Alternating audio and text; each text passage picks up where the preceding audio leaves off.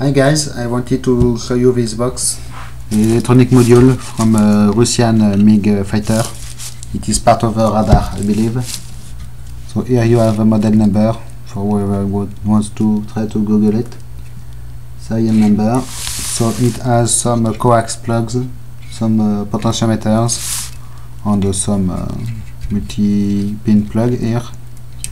But the really interesting thing is the contents.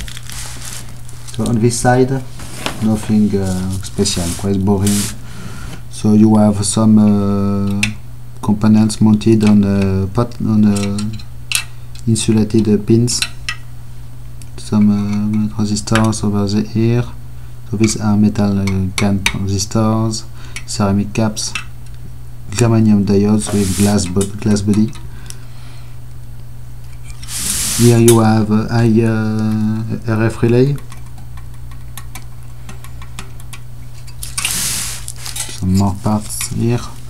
So the really great thing with this is the other side. It is the number of parts you have mounted on uh, these uh, pots, these uh, stands, standoffs. Look at this.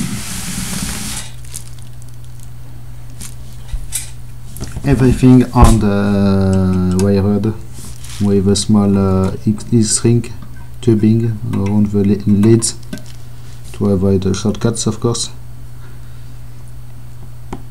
Also it is all handmade and really really really uh, beautiful uh, work.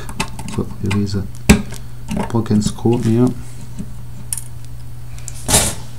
As you can see quite incredible. I made a I received photo of it onto uh, that is available on my Flickr account. It is a long time ago, but it is available down, down there. So it is really, really incredible work. And all the parts are premium military quality parts. These capacitors, these green capacitors are very good multi-layer ceramic capacitors.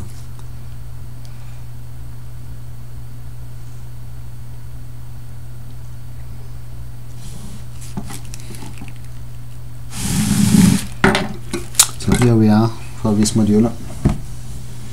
As you can see, work hours were not a problem in uh, Soviet Russia. Everyone needed to work and uh, they did find work for everybody. Even if it is for putting a small uh, insulating things into resistor leads.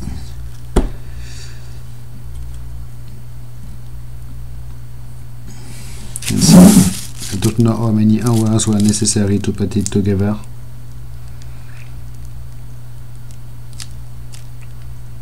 But it is quite a thing.